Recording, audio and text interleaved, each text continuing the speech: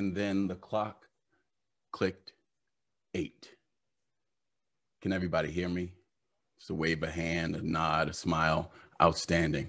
Um, welcome, everybody, to my basement. My name is Joseph Green, and I am the CEO of LMS Voice, and I'm super excited to be here with you all this afternoon. I didn't formally prepare any comments, so I'm just going to shoot from the hip. Uh, this is absolutely amazing. The idea that we could be here with so many people from across the country, maybe even the world, to celebrate poetry and to come together in the midst. And I've heard all, I know you've all have heard this in the middle of one of the the most unhinged times um, that I can remember in my lifetime. Uh, and and just find joy in having conversation with one another and listening and appreciating people who are from different places and different spaces and have different experiences than us um, the idea that we could be a part of facilitating that um, for people is something that i am very proud of um, this uh, organization, LMS Voice, was born of another organization um, called Poetry Now that I co-founded with Brian Hannon, who I'll introduce to you in a moment. Um, and it has just always been our goal to make resources available to people that um, enhance their experience here on this little planet of ours. And so um, this is one of those things. This was Brian's idea. And uh, when I heard it, I was like, more work. But then I was like, okay, let's try it. Um, and he took the reins and he and he made it happen. So we have two amazing young people who are going to um, be our host this evening. And um, I'm going to let them introduce our special guest, whom I'm assuming most of you know. But uh, I'll, I'll save it for you know the proper introduction because I don't want to mess up anyone's bio. But uh, I just want to go over a couple of um, house rules before we, we jump into things. Um, one, uh, there's a chat here. Please, please, please communicate in the chat um, with one another, um, share poems, resources, thoughts, ideas, um, send love to our, our young hosts who are doing this type of thing for the first time. Um, I know that you will send love and enthusiasm and support to um, our guest. Uh, but yeah, meet each other. Let that be a place for us to network and grow and um and please keep it positive. Um, there's really not a lot of interaction between the audience and uh, the, the the people who are doing the interview and the interviewee, but uh, that's just one way for us to communicate. So, um, in the spirit of keeping things positive, please keep the chat positive, but use it.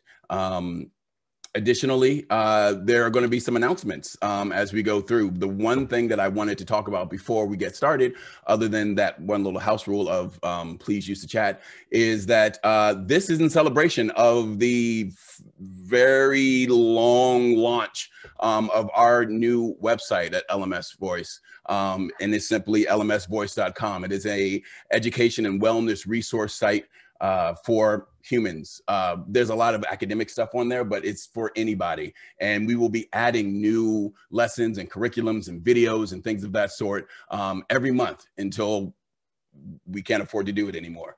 Uh, and it will always be free to the public. So if you are interested in um, this writer and many other writers of the same elk, then you should definitely check out the website. There are a lot of um, beautiful uh, workshops there, essays and poems, and soon to be lots and lots of videos and other things of that sort. And if you'd like to collaborate with us on any of this, we would love for you to reach out. Um, periodically, I will be putting our information into the chat. Okay, All right, I got 30 seconds left. Here we go.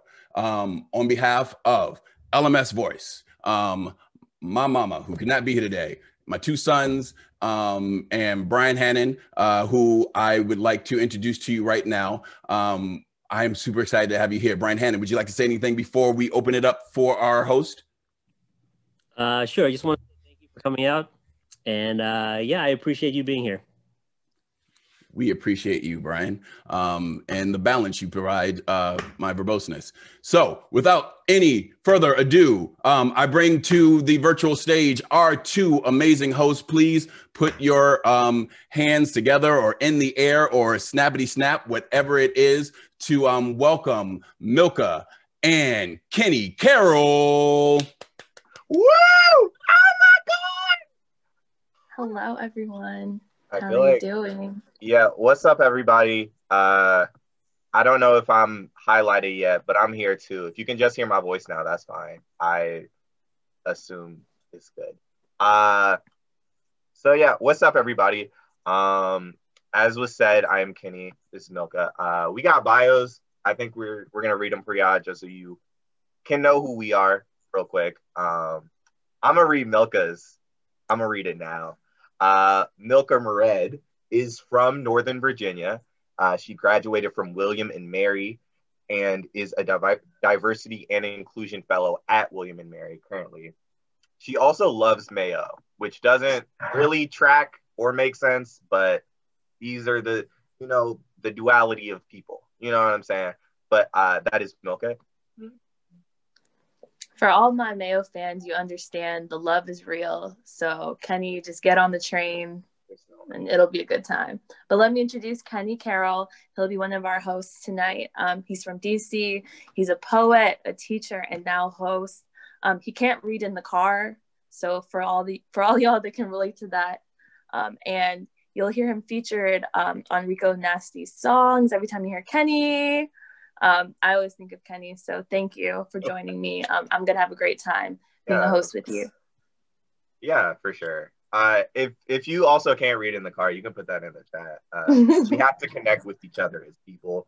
We have to build that community because you know we're out here. Um, but yeah, uh, super excited. Milka, you feeling good?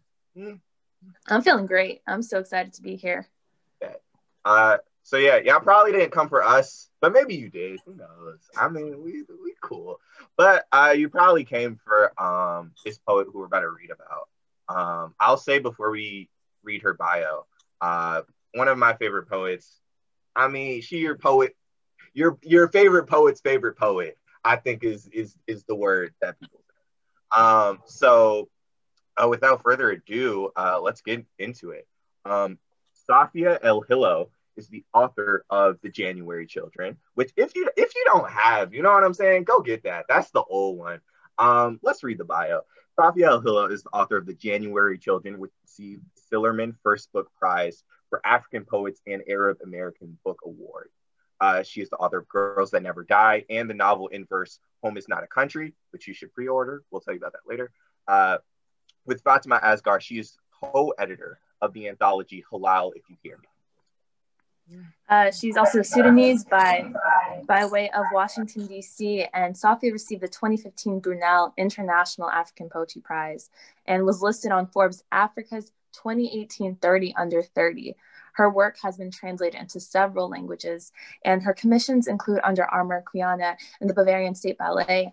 And in 2018, she was awarded awarded Ruth Lilly and Dorothy Sargent Rosenberg Poetry Fellowship from the Poetry Foundation, and she currently is Wallace is a Wallace Stegner Fellow at Stanford University and lives in Oakland. So you can tell Safia is a very busy, very accomplished woman, and super excited to learn more about her. Kill. We're gonna put her uh, Instagram and Twitter, and also uh, pre-order uh, for Home Is Not a Country in the chat. But just so y'all know, her Instagram is Safia Mafia, and her Twitter is Mafia Safia. You love you, you love the branding. Um, so I think we said all we needed to say, and we got that out the way. So uh, it, we're also here uh, based on um, the poet, the poem that is featured in uh, LMS Voices uh, site. So Safia, if you want to come on and read it, that'd be tight. Um, without further ado, Safia, hello, ah, ah, make noise. Ah. Zoom can't hold us. Um, hi everyone. Thank y'all so much for having me. Um, I did not think this through in advance, so I need to pull up my poem. So this is me bantering until I can get to the thing that I need to read to you. Um, terrible weather we're having here in Oakland these days, or uh, as one should call it, Southern Oregon, because California branding is incorrect. It's cold here. I'm wearing a turtleneck in California. Um, can I pin? I don't know that I have the powers to pin myself, but um, I think someone uh, on the other end has the power to Yeah. do that to my video. far is that be? Oh, okay, there we go. I see myself. Um, sorry about that terrible banter. Um, in memory of Kamau Brathwaite. I sat by the lake and ate five tiny oranges, and every strand of flesh and pith was my teacher. I grew warm and soft in the sun, and from this ripening, made a poem to search for my teacher. I hear in every syllable its older drum. For this first part of my life, my ancestor was alive, my ancestor was kind, and my ancestor was my teacher. I learned music as the bright flesh of the poem. I learned percussion as its pith. I learned to listen to my people speak and harness my many mouths to write, my many mouths to music, my people as my teacher. I want badly to write well. I want badly for my teacher to remain or return, to explain again about the drum, draw a circle for me to stand inside. I want more than I dare write. I want more than I understand. I want porous borders to the other world to part and reveal him there, my teacher. I want the lake and its secrets. I want enormous things, the audacity for words previously not mine, since poured from my softer places. I know enough to believe the miracle of my faith, not resurrection and not water, but the book. I want badly to explain something about music, something exact and pure, but what is more polluted than language? Language hollowed to an instrument by my selfish grief. You were enormous as a god and you were kind to me. And from that brief overlap, I sit down every time to write, hands fragrant with pith and peel. I want to grow larger than my mourning, my ancestor beside me on the long walk to the poem, the long walk around the lake, and now I will begin again, visited in sleep and here by my teacher.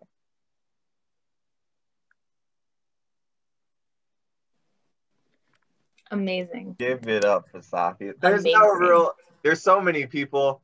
Everybody clapping. Uh, if we could, yeah, yeah. Do your do your snaps in the chat. Do your claps in the whatever.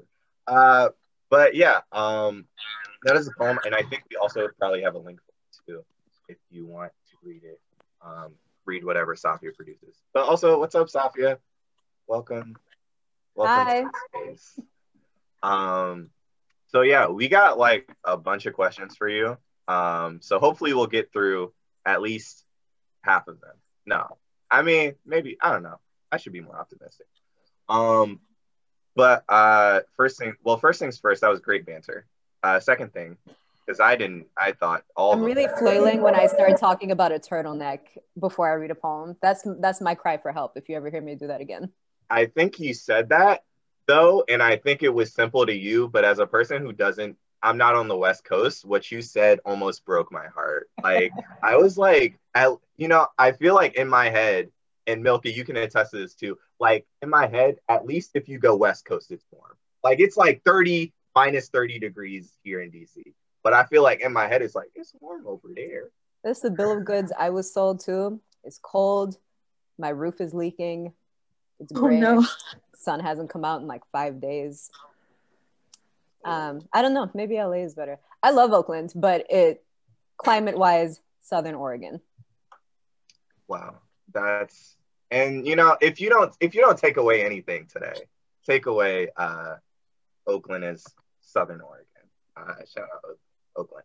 Okay, but anyway, the poetry, poetry, because obviously that is what we're here for. Um, so uh, the Honorable Edward Kamau Brathwaite was a Barbadian poet and academic, widely considered one of the major voices in the Caribbean literary canon.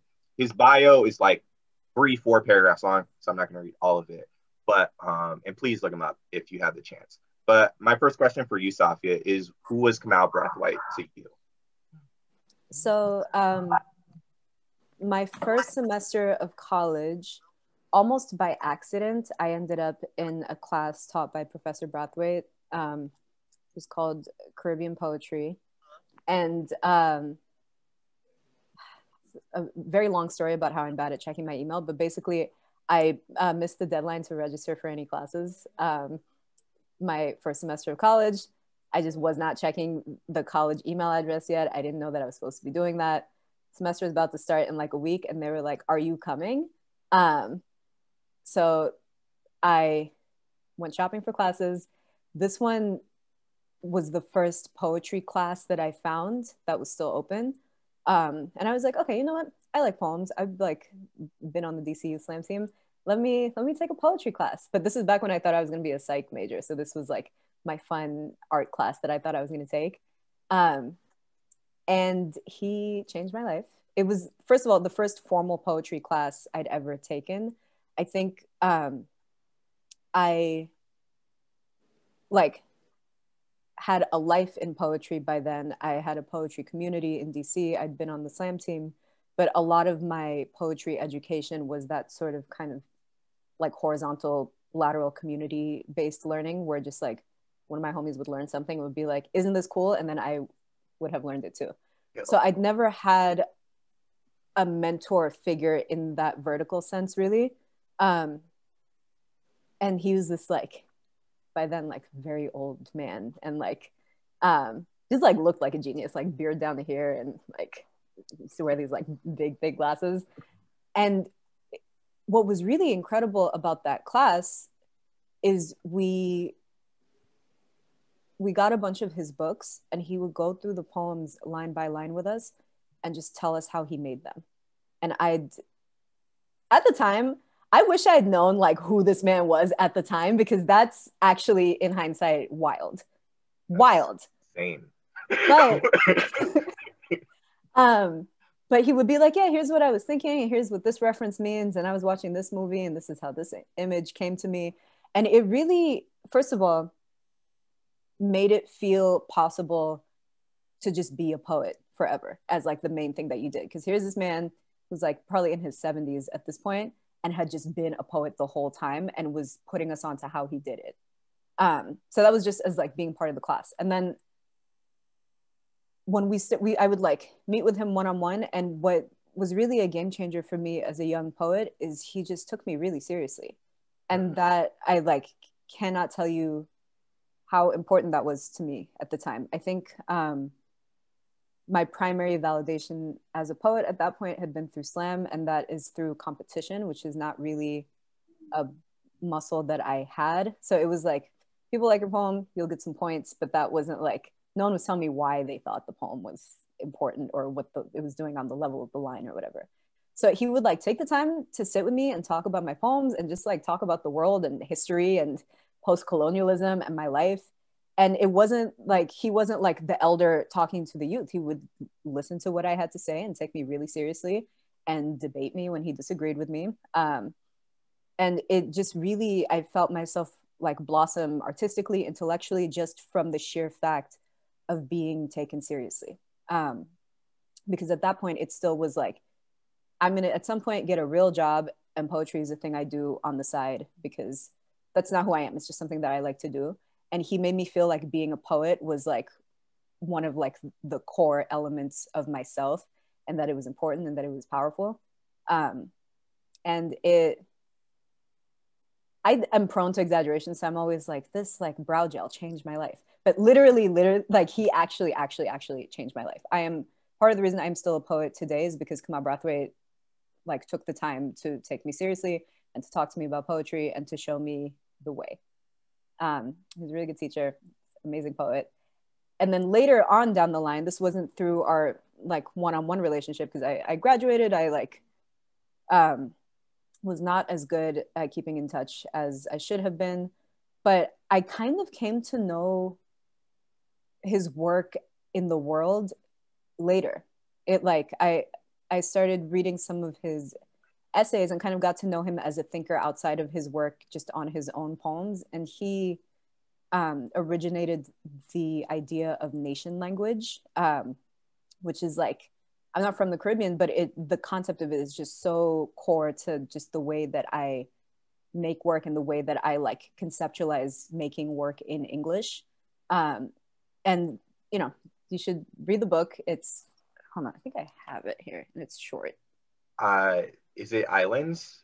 It's or? History of the Voice, mm. um, which is just the transcript of a talk that he gave in the 70s.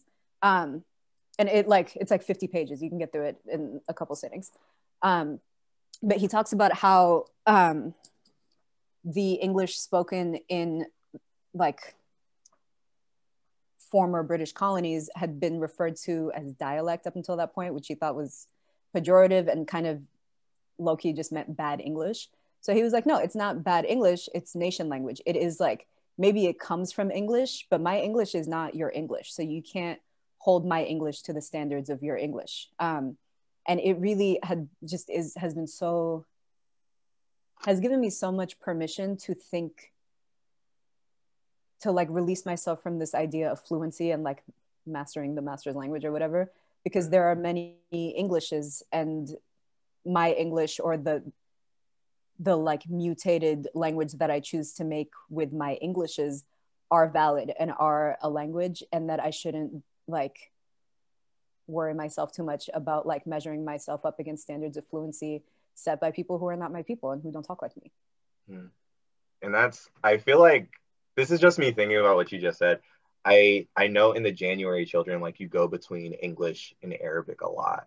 Do you feel like that had something to do with it, like learning that Kamau like created language that wasn't like easy for white people to read a lot of times, but that you know is ultimately a true expression of like what's going on with you.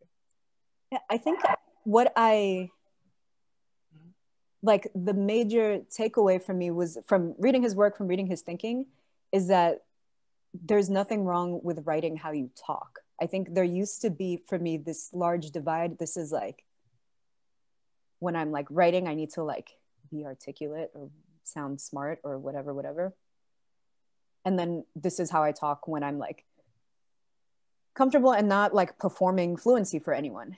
And that combination of English and Arabic, when I'm like at my most comfortable, I am not translating. And when I am not translating, because I am at this point not fluent entirely in either Arabic nor English, I have like two half languages at this point. So if I'm sitting down to speak ex- exclusively in one or exclusively in the other, part of me is translating and part of me is having to do the work of performing fluency to like prove to who I'm talking to that I speak this language. But when I'm at my most comfortable, when I'm like talking to someone who I feel like already has context for me, who I don't have to explain myself to, then the words just come out in whatever language they occur to me in. And that's, you know, that's my nation language. Um, and so for a long time, I was keeping the Arabic out of the poems because I was like, they won't understand what I'm talking about. But who is they? You know, that I think had to be a, an important question that I had to ask myself. Who, like, I know it's like, who do we write for or whatever, but quite literally, who is like my metric for if this poem makes sense? Is like, if this poem is written with like my mom and my little brother and my two childhood best friends in mind, then if it's in that like hybrid language that we all speak together, they're going to know exactly what I'm talking about. If like XYZ Ivory Tower poetry editor is like, I don't speak Arabic, that's like not actually my problem um, because that wasn't who it was addressed to in the first place. Word. Um, shout out that uh, Safi with the bars. Uh, I don't want to go for this too long, but I also want to acknowledge like shout out all the people in the chat from everywhere. I know there are a lot of like people who are like thinking about writing right now. Um, Safia said, uh, write how you talk uh, and stop worrying about them because they suck. Um, I'm pretty sure that was that's what you said, right, Safia? Oh, yeah. I don't want to. Okay, great. Um, okay, uh, more questions. Um, so speaking of people who are interested in your process, um, do you? Where did this poem start for you? Um, was it like a first thought or first word that you got on the page? Um, that you can remember being like, this is gonna start this poem, or this poem's gonna happen now. So you, what was unique for me about the process of making this poem is usually I wrote I wrote the first draft of this poem the day that I found out that Professor Brathwaite had passed away. And that's not usually it usually like I need to like chew on something for a long time before I can like use my poem brain on it. Um but I don't know. I mean, part of why it felt more possible I was in a workshop at that time where um, I had to write a poem a week for workshop, and so I just felt like very in shape in terms of like Mhm. I couldn't like sit around waiting for like the muse to descend. I had homework due, Um, and so just like the the ways that I get arrive at a poem just felt a lot more accessible to me. Um, it wasn't actually about like inspiration or the muse or whatever. It was like, okay, under these conditions, I am likely to be able to write a poem. And those conditions were available at the time. Um, the day that I found out that he'd passed away, um, my childhood best friend Orad was visiting me from DC. She's come here to Oakland. And it was one of her last days here. And we decided to rent some bikes and bike around Lake Merritt, which is like 10 minute walk from where I live. Um, and we'd like packed a bunch of snacks, including a bunch of little oranges, like like cuties, I guess they're called, those little little mm. easy to peel oranges. Um, so we like went maybe three quarters of the way around the lake, and then we like found a little sunny spot to sit down. And I hadn't looked at my phone in a while because I was on a bike and I'm not that, such a good biker that I can just be texting at the same time. Um, I pulled out my phone and my friend Suhaili, who had been, she was the TA for Professor Brathwaite's class when I was a student. She was a grad student when I was a freshman. Um, and she let me know that he had passed away.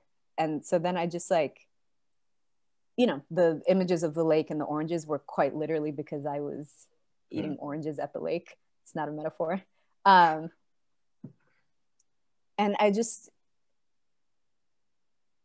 I don't know. I think I, the thing with elders, with like a lot of the elders in my life, is I um, always take for granted that I, I think I'll, I always think I'll have more time.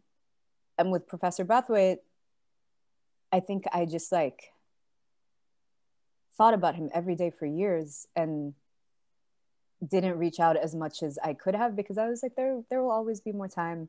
He's busy. I don't want to bother him.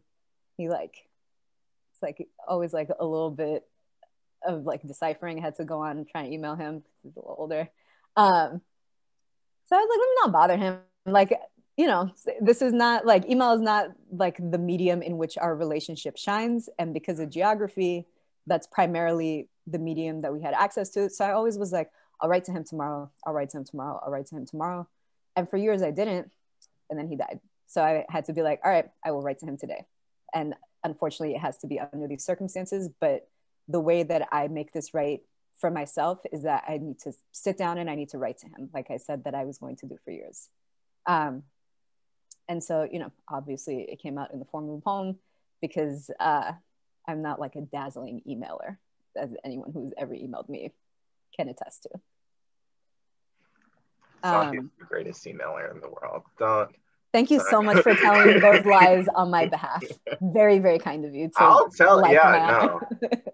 um, um, what else? The poem in, initially, I mean, it still kind of is, but I, um, whenever I don't know how to answer a poem, I will reach for form. It started out as a ghazal.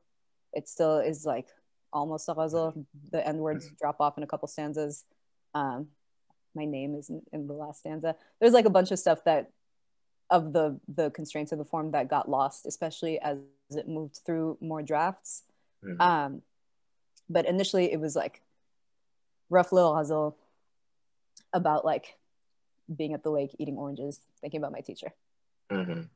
No, and I think it was funny. I we were reading the poem together, and we saw that my teacher line at the end, and it was like this almost feels like a form the way it keeps coming back, then it broke halfway through.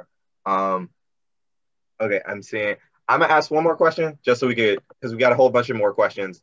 Um, and it's not all about my questions. I feel like my questions are pretty great. Whatever. Uh, but questions are great. Oh, thank you. You didn't have to say that, but now that you said it, everyone heard it. Um, but uh, you just mentioned it, which makes me kind of want to ask about it because you mentioned the the pith and peel, and that's where it comes from. Uh, shout out, it wasn't a metaphor. But there's another image in here that I feel it uh, comes back twice. The image from you say, um, I think later on, to explain again about the drum. Um, and I'm curious, what did the drum mean in this poem, and then maybe what did the lesson of the drum mean between you now? So the drum, in the case of this poem, was a metaphor. Um, when he would talk about it, I think he literally was talking about drums. But I, one of the biggest takeaways from working with him, especially like up until that point, my own, the only space in which I had been writing poems was for slam, and that was like primarily those poems were written to be experienced sonically. And so it like right from the beginning, the way the poem sounds out loud was like an important element of like the checklist of is the poem done.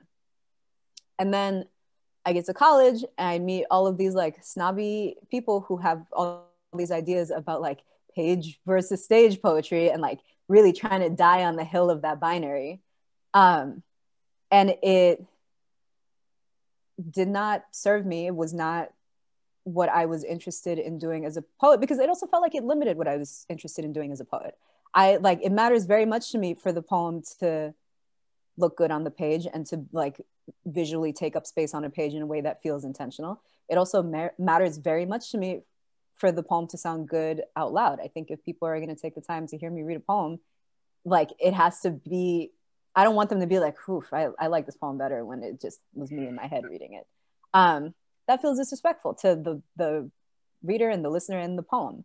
Um, and Professor Brathwaite was always talking to me about rhythm in the poems. Um, he'd be like, the rhythm in this is off, or listen to the rhythm of this poem.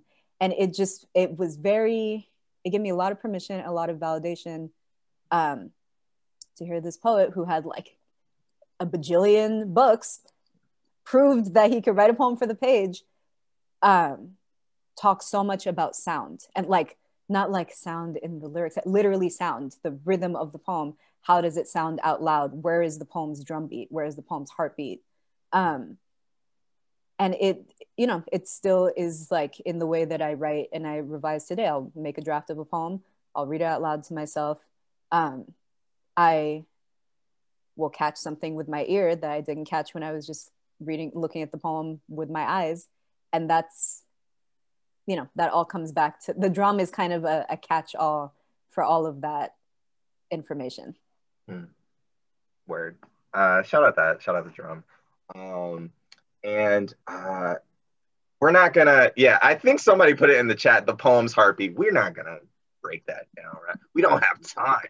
Um but what we do have time for is to tell you about some of the stuff going on right now. I think um Joseph, our person, might be about to come back, but if not, I'll just keep talking. It doesn't matter. I am back. Thank you. Whoa. What a wonderful um, segue there. What a great transition, Kenny. Um, I, you're really good at this. You're really good at this. You're the one. um, first and foremost, thank y'all for the first half of the show. I am thoroughly enjoying this conversation, and I hope that you are also. We are at our quote unquote commercial break here. Um, and I just wanted to take a quick moment to show you the thing that we are all um, here uh, to, um, what brought us all here. The workshop is on a website, and I wanted to show you guys that website real quick. And then we're going to have a very special treat, um, which will be uh, an introduction of Safia's new book. Um, but if you'll rock with me for a quick second here. So this is the new um, LMS Voice website that we have spent a lot of time building. And as I said, it is a free resource for teachers and other humans out on the world. Uh, we have um, this curriculums page, which is probably our most robust section right now. Um, most of them contributed by uh, Mr. Brian Hannon. But every month, uh, until my uh, fingers break, we will be adding a new curriculum with a different collaborator. Um, and so these are our first uh, six curriculums that will be going up. So starting uh, next month, we will be doing, uh, we do it for the culture and so on and so forth, many different curriculums and lesson plans on many different topics until this thing is so big that we have to um, have its own search engine to find things. The whole idea is is that there are a lot of people out there with a lot of wonderful ideas who want to find a space where they can share those ideas. And if you're one of those people, feel free to holler at us because you um, could be added to our curriculum database. Um, we have this beautiful workshop here, or this beautiful poem, and a whole bunch others, and they're all searchable um, by theme and tag and things of that sort. All right. So please feel free to find us, join us, um, and share this with all of the people that you know on the planet, all of them, every single one, even the ones that don't like poetry, um, because there are going to be a lot of non poetry things on there too. So, with that, I throw it back to our esteemed host, who will now hosts with a plural, who will now share and introduce Safia, who will be reading some things. Right. Throw it back. Thanks, Joseph. It's thrown. Caught. Uh, Milka, I don't know if you want to do um, real quick, uh, half and half for telling people about Safia's upcoming project that they're gonna pre-order before tonight is over. Um,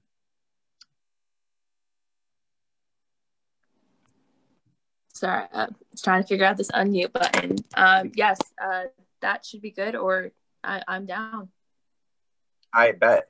Um, so about home is not a country a mesmerizing novel in verse about family, identity, and finding yourself in the most unexpected places. For fans of the poet X, I am not your perfect Mexican daughter, and Jason Reynolds, because you know who who doesn't love James, Jason Reynolds. Um, Nima doesn't feel understood by her mother, who grew up far away in a different land, by her suburban town, which makes her feel too much like an outsider to fit in, and not enough like an outsider to feel that she belongs somewhere else.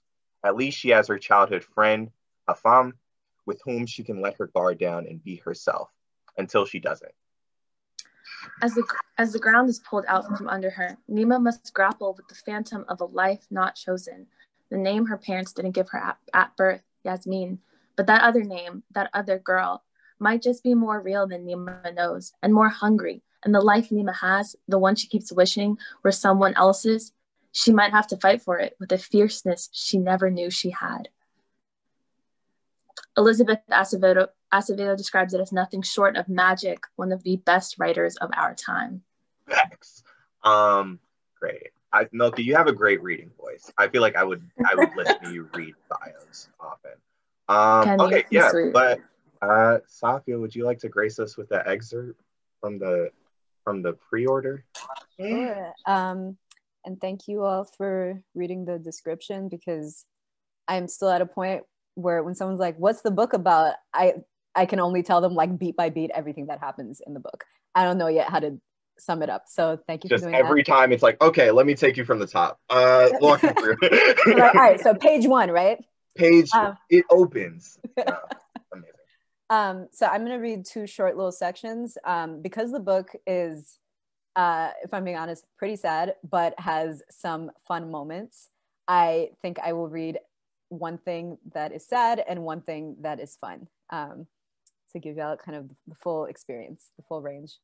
Um, this first section is called Mama. Of course, I know my mother is lonely. Her days and nights spent mostly in the company of ghosts. So much of who and what she's loved she speaks of only in past tense, though mostly she keeps quiet. I can't help but imagine that her life was enormous before we came here, loud and crowded and lively as any party. And then the final notes of the song, and everyone is gone, except me. And I feel my own smallness as I try to fill her life's empty spaces, though they gape around me like the one pair of her high heeled shoes I used to love to play with when I was little. So much of our life feels like sitting at a table set for dozens who will never again arrive. The two of us surrounded by empty chairs. My mother is lonely, and I am her daughter, her only. I think that might be why I'm lonely too. Um, so that was the fun poem, if you can't tell. Um, and then uh, here is the other poem. Um, where is it? Okay. Haytham lives in my building, which isn't actually surprising since it seems everyone from our country immigrated to the same block of crowded apartments. It's Saturday morning and he's ringing the doorbell, frantic, and falls inside when I answer, sweaty and rumpled and still in his house shoes, coughing with a little joke in his eye. His grandmother, opening his t shirt drawer to put away the laundry, found his secret pack of cigarettes, which he doesn't even really smoke, which he tried to explain away while dodging the slippers aimed at his head. Who knew Mama Fathia was so athletic? everything always so funny to him. She chased him out with cries of, disgusting, disgusting, and where else was he going to go? My mother hasn't left yet for work and makes us tea boiled in milk, poured into mismatched mugs, and hands us packs of Captain Majid cookies she gets from the Bigala that Haytham and I call ethnic Walmart, where we buy everything from bleeding legs of lamb to patterned pillow covers and cassettes covered in a layer of dust. She never seems old enough to be anyone's mother, so pretty and unlined and smelling always of flowers. She clears the cups and wipes the crumbs from the table and our faces in quick movements, pins her scarf around her face and leaves for work. Haytham isn't wearing shoes, so we cannot go outside. We instead spend the day playing our favorite game, calling all our people's typical names out the window into the courtyard.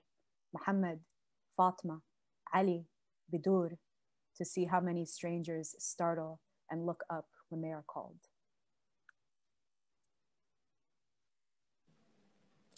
Safi, thank you so much. Give it up. If my phone was not uh, in my hand, I would be clapping. You could hear me clapping. I'm just, I'm so mesmerized. Hey, I got you. I got you, Milka. Thank you. Thank you, Kenny.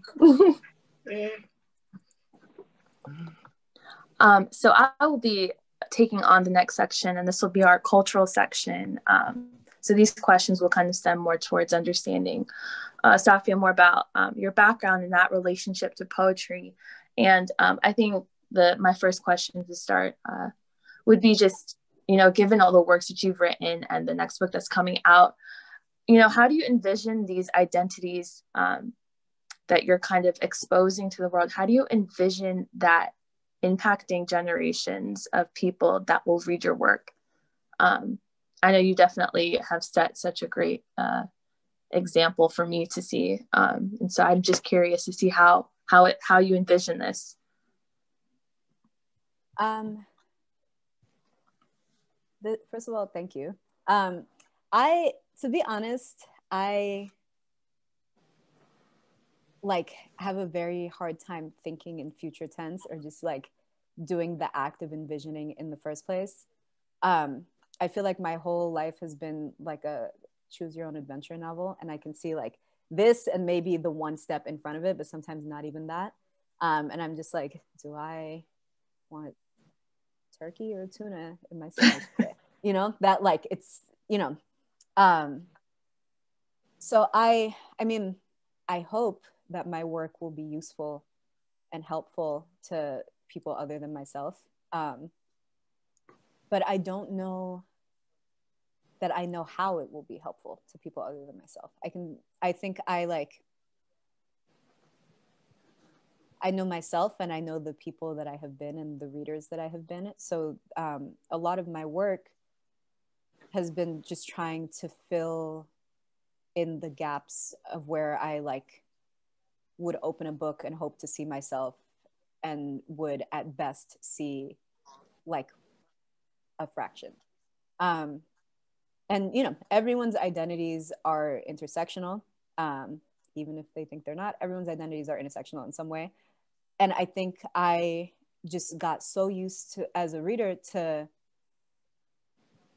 thinking of my intersection as fragmentation and being like, okay, I can be represented, but only in part. Um, and I need to just be okay with that. And then I started writing and realized that there, was something I could do about it. Um, but again, like representation stuff is tricky because I, my I is my I. My I is not like I think of myself as a very community minded human being, but I am never under the illusion that I am like speaking for anyone other than myself. So my I is not a we, not because I don't care about other people, but because part of my caring about other people is that I hold the deep belief that everyone can speak for themselves. So I'm like not out here trying to be like, hello world, this is what it's like to be a Sudanese American Black Muslim woman Sagittarius. This is like the the the holistic um report hold on one second i live in a one bedroom apartment one second shout out the sages in the chat Shout out. I know I'm a Sagittarius. It's the- it's the Add that in my bio. Mm. Um, sorry, I live in a one bedroom apartment and we are on simultaneous calls. Um, but I think it's very easy to fall into the trap. People like low key, when I say people, I mean white people. So let me just say, white people, I think, are always looking for a like a narrative to be made easy and soundbite and like neat and digestible. And so I think it is very easy for someone who is not of my community to read my work and be like, this is what it is to be a Sudanese person. This is what it is to be Muslim. This is what it is to be Black. This is what it is to be from Washington, D.C., whatever, whatever. And I don't ever want to give someone permission or an excuse to be able to read my work like that. Um, because I love my community and I love my people. And the way that I am showing that love is to to like try and like combat any narratives that we are a monolith in any way. I like my hope is if anyone is like reading my work for anything other than poetry, if they're like trying to mine my work for like information about Sudanese people or whatever, what I hope is that they will then go and read a gazillion other Sudanese writers to start to piece together just the like great extent of that tapestry of voices because I couldn't even sum up like one one thousandth of what it is. Um, so it my hope with my work is that I can like stay in my lane and uh, make work in my very specific corner. Um, and that will reveal to people that it's just one corner of this greater, I think I already said tapestry, but it's a word I like tapestry of like voices and thinkers and writers, and that people will keep going. You know, I like don't want people to like arrive at my work and stay there. It like I like my poems as much as whoever, but like keep going. That's you know, there's like so much more. Um, so that is, I don't know if that's what I envision, but I guess that's what I hope. The first word that pops in my mind is just like fear fearless, just because I think that's really difficult to kind of continuously like be your own example. And like I, I read in an interview um, that you did that you write to make sure you exist. And like I was curious, you know, like what do you do to remind yourself that you exist, you alone, and your whole self exist?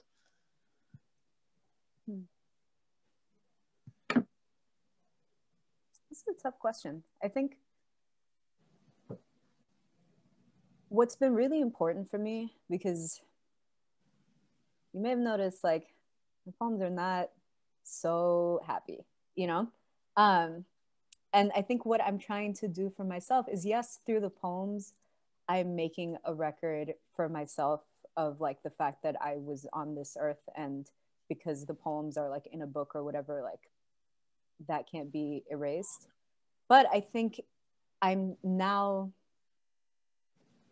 giving my per- myself permission to like think about other ways of making poems because it like what I have now is like a robust archive of like all the ways I've been unhappy. Um and that like believe it or not like I'm okay. I don't know what like I don't think the poems really reflect that but like I'm fine. Um and I I don't know I don't quite have the answer but I think it's important for me to like kind of start to undo this narrative for myself too of the tortured artist or whatever. I think there are like there is a way in which I like get to make my art and to like do difficult work without it like costing me something important because I think one of the earlier ways I was taught to make poems um, I don't think slam is necessarily like this anymore, but you know, back in the olden days of like 2008 or whatever, it really, you know, trauma scored. Um, and I have trauma. So I was like, all right, bet I like, I've got something for you. But it, it, I think what I internalized from that was that the most interesting stuff about me was what hurt me the most. And I actually, when I take a step back and I think about it, I don't think that's true. I think maybe that is one of the less interesting things about me because who among us has not been hurt? You know, that's not my like unique thing. We all have trauma, you know, like patriarchy and, and violence and racism and Islamophobia and xenophobia.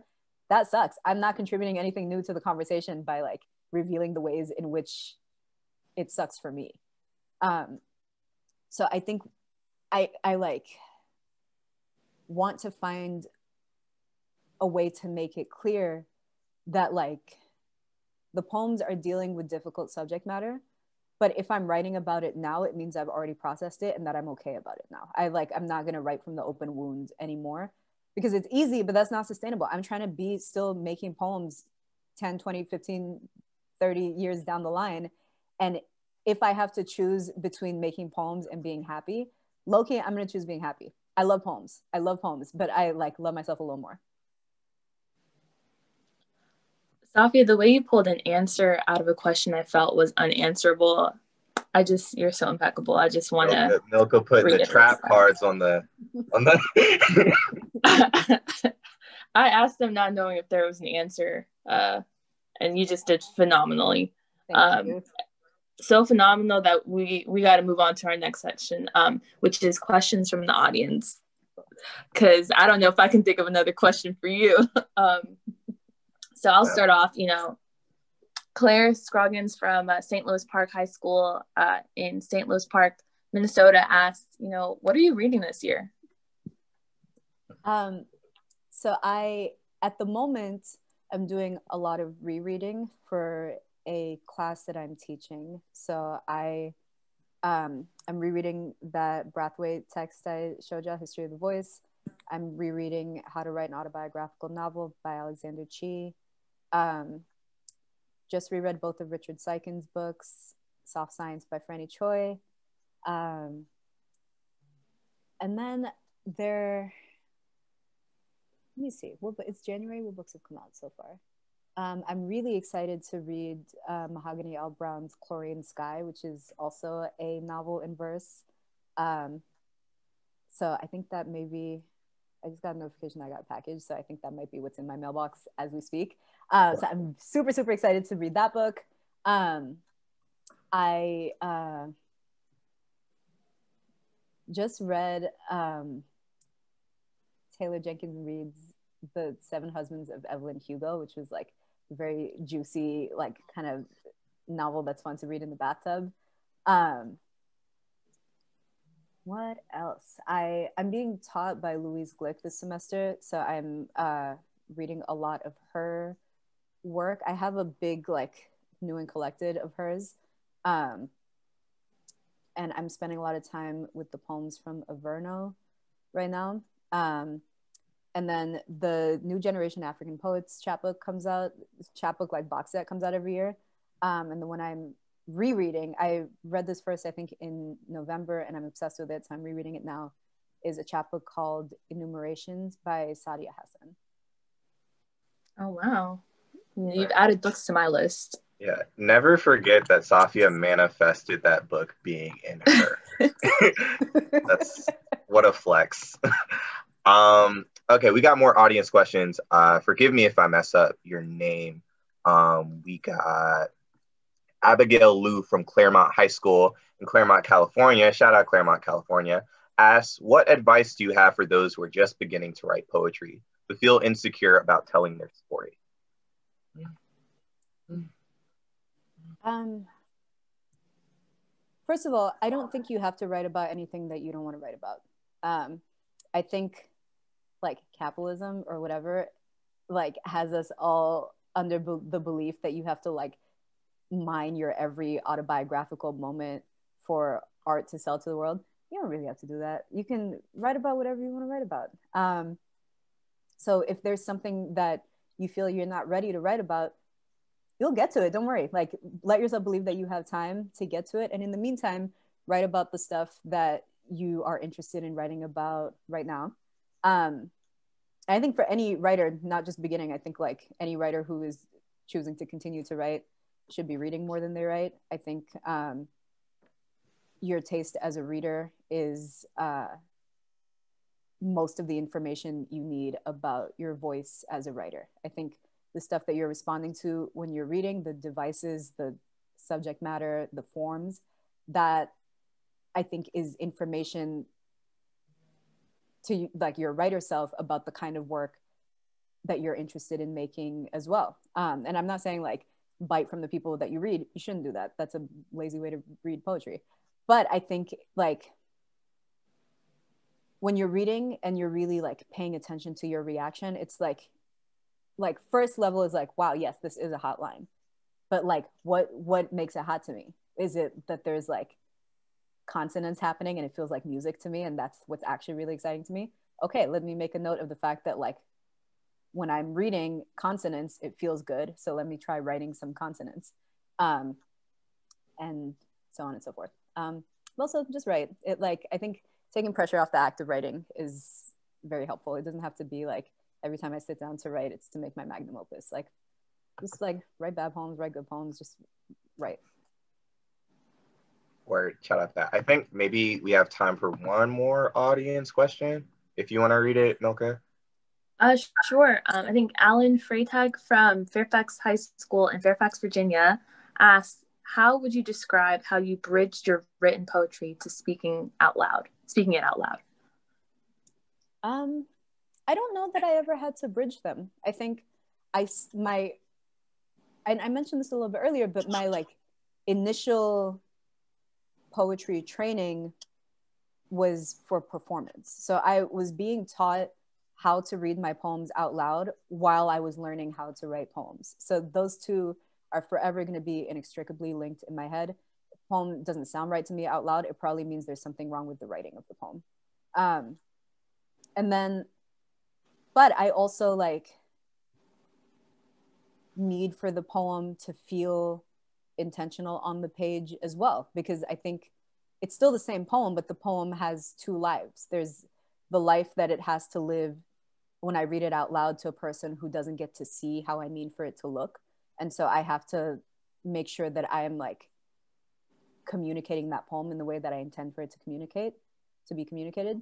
And then on the page, I need for the poem to appear in such a way that if I am not there to read the poem to that person, they still have a sense of the rhythms that I'm interested in, where I want the pauses to be. Um, if it's lowercase, I want it to feel a little softer, a little quieter. If it's capitalized and punctuated. I want it to feel a little crisper, a little louder. Is it in a prose block? Is it in couplets? All of that I think is like sensory information that is meant to substitute for the fact that I can't be there like over your shoulder being like, no, you you you should pause there before you go on to the next line. Word. Um, thank you for answering those. Thank you guys for sending questions in. Um, we will be doing this again. So send in more questions and maybe we will have more time for the next person. Uh, I don't know if we'll have Safi again. Uh, I'm around. Hit me up. Yeah, Safi is around. You know, she's in Oakland, but you know, it's DC family.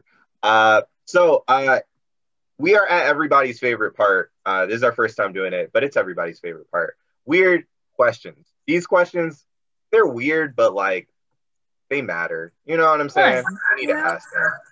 So hopefully we can get through at least three because uh, we want to know weird things.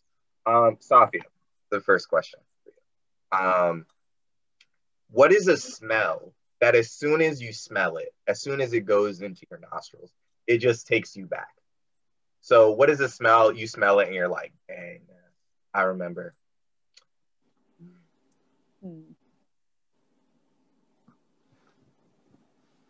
I feel like that's my relationship to almost every smell, isn't it? That like smell is like the most immediate trigger of memory. But I will, okay. When I was a kid, my grandma used to wear uh, Chanel number five perfume, but I didn't know it was Chanel number five perfume. I was like, this is just the way my grandma smells. Um, and then when I was an older kid, I had an aunt who like used to, I mean, at the time it felt like a great gift. Now I'm like, all those are free. But it she would bring me like little like bags of perfume samples that she would get at department stores. And I was like, wow, th- is this luxury? Because I'm I'm experiencing luxury right now. Look at all these perfumes I got. Um, and one of them was Chanel number five. And the first time that I sprayed it, I was like, like this doesn't make sense. These people are selling the scent, but like this belongs to my grandma. So what, like, what is really going on here? Dang. Safia asking me important questions at a young age. Um, okay, that was my weird question. Uh, Milka. I think one of the questions I want to know, really, really, really need to know, you know, if your life had a theme song, what would it be? Well, um, hmm.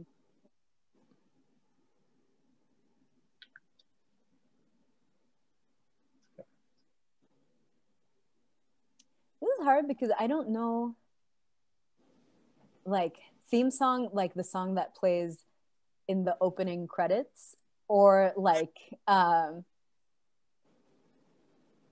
like if my life had to be translated into song it would be this song.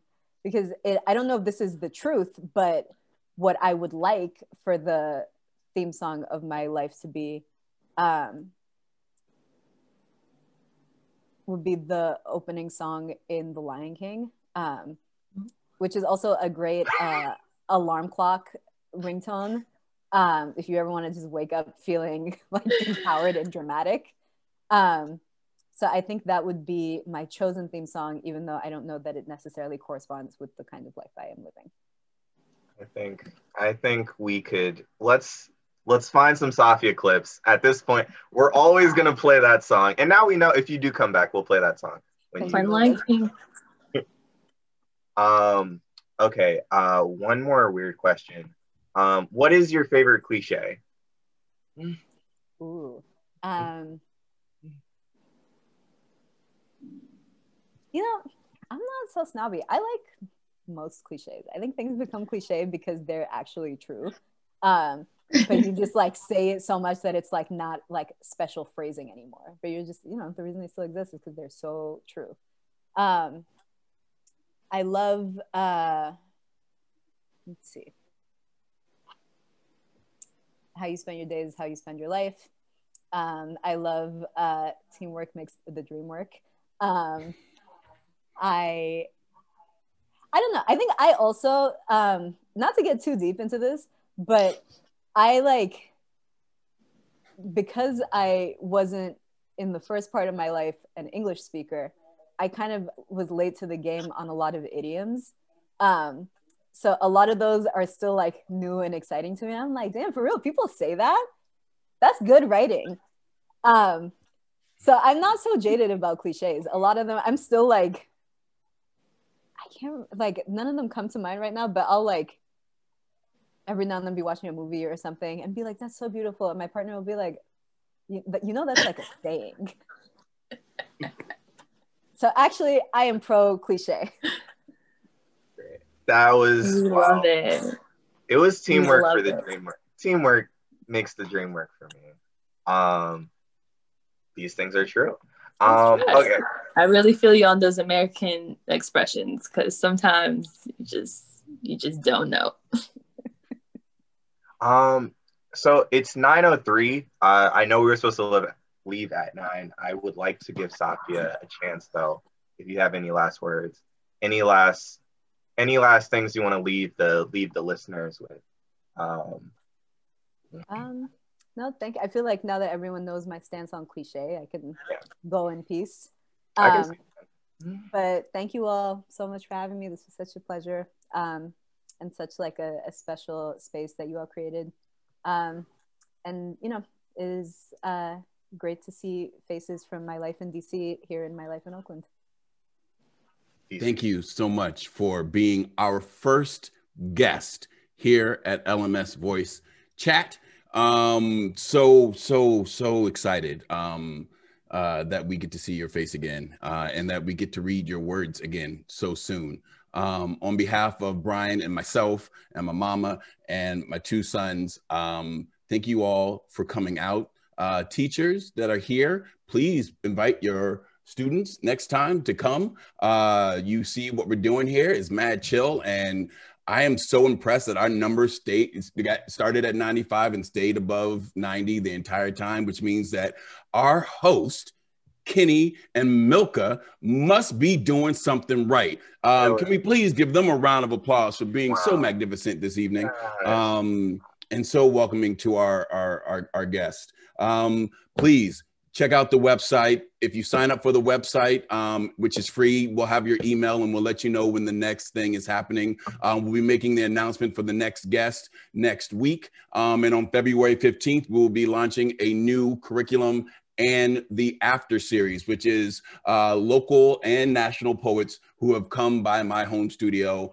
uh, to record their poems and a workshop for that poem so that you can write after it. Thusly, the After Series launching uh, February 15th. You see what we did there? We, we be I, words. Big brain words. We be words. Uh, Safia, uh, be safe, hold it down, wear a coat outside. Um, much love. Thank you so much, everyone. Uh, I go don't know how to compete these things. You ain't got to go home, but you know, actually, you're already there probably. So, good night. Good night.